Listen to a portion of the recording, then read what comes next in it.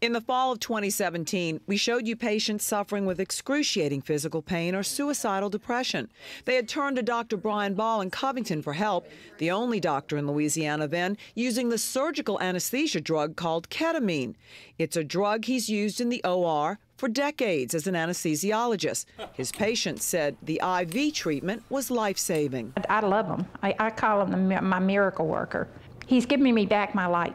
Back then, other physicians were skeptical, saying they needed more human studies to assure that it works, is safe, without long term side effects of the brain. Now, just recently, the FDA approved a version of ketamine called esketamine for severe depression. Soon, the nasal spray will be offered only at specialty pharmacies and only to be used while the patient is with a physician in his or her office. We're about a tenth of the cost of, of esketamine but we're not paid for, it's not covered by insurance.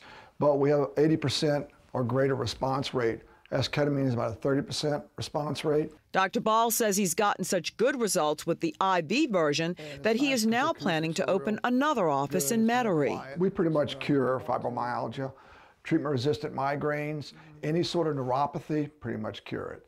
Whether it's from diabetes, um, trauma, you name it. And he says he's had a high success rate with suicidal patients. He believes the FDA approval is bringing awareness to a drug that treats those who've tried everything.